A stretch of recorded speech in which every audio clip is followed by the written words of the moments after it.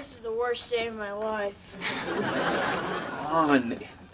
You're gonna eat your dinner, watch some videos, play some games, and then you're gonna go to bed. And we'll pick you up first thing tomorrow. Promise.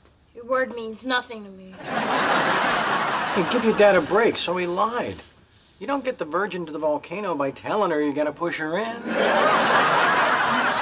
Can't we just go home? No, now enough of this. I am the adult and you are the child. And this is the volcano. Now you're gonna go in there, you're gonna behave yourself, and you're gonna have a nice evening. Do we understand each other? Yes. Thank you. Now ring the bell.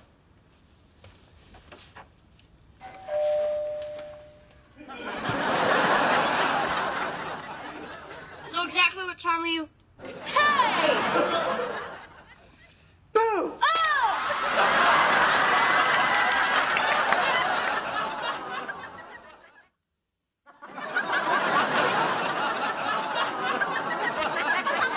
I thought we'd eat Japanese style.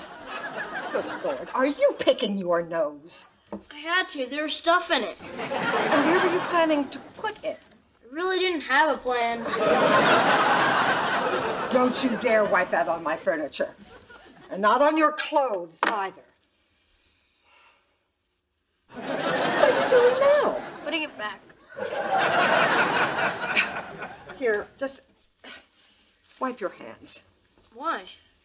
Because we are going to eat dinner, and you've been rooting around in your nostrum. It's okay. I don't eat with my hands. I use a fork. Wipe your hands. Okay. Thank you.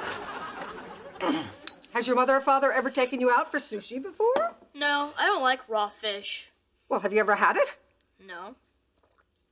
How do you know you don't like it then? It's an educated guess. well, Why don't you just try it? Let's start with the tuna, shall we? Here you go. That's not tuna. Oh, yes, it is. No, -uh, I've had tuna.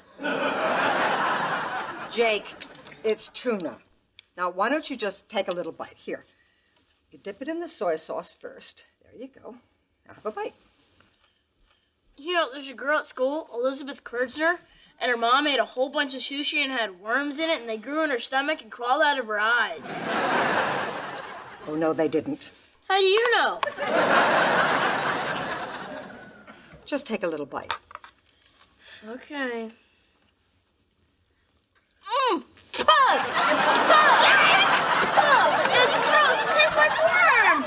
Oh! Jake, stop spitting on my rug. Where do you want me to spit? Don't spit at all. I gotta get the taste out! Look, have some ginger. No, Jake, that's wasabi. What? Oh! You're trying to kill me! No, Jake, no, that's an expensive pillow. Let him give me.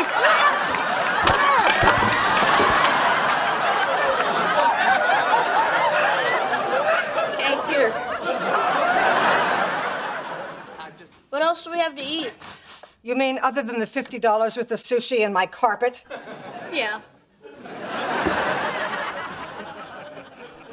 I don't suppose you'd eat squab. No. Do you even know what it is? No. But it sounds pretty creepy.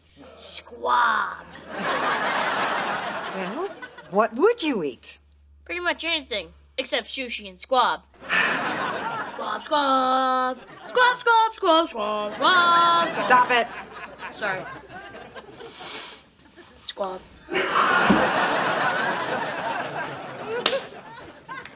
Would you eat spaghetti? I love spaghetti. Wait, would you prefer vermicelli or linguine? Spaghetti. All right. What would you like on it? Um, puttanesca, bolognese, milanese, olive oil and truffles? How about squab? I'm just kidding. Ketchup. Of course. And slice of hot dogs. Unbelievable. My grandson is a hillbilly. Dinner, such as it is, is served. Jake, where are you? Come into the dining room. Squab!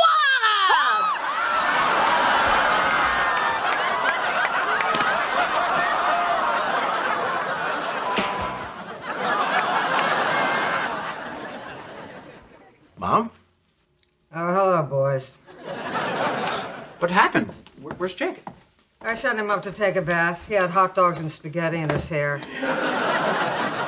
Why would he have hot dogs and spaghetti in his hair? Because he wouldn't eat squab. squab. Hey, what are you guys doing here?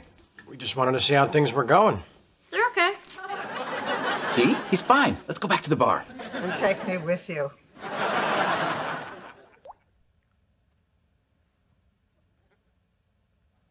Jake? Yeah? Did you turn the water off in the bathtub? Um.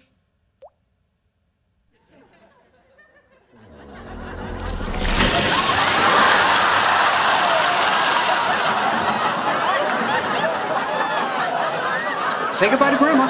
Goodbye, Grandma. Night, Mom.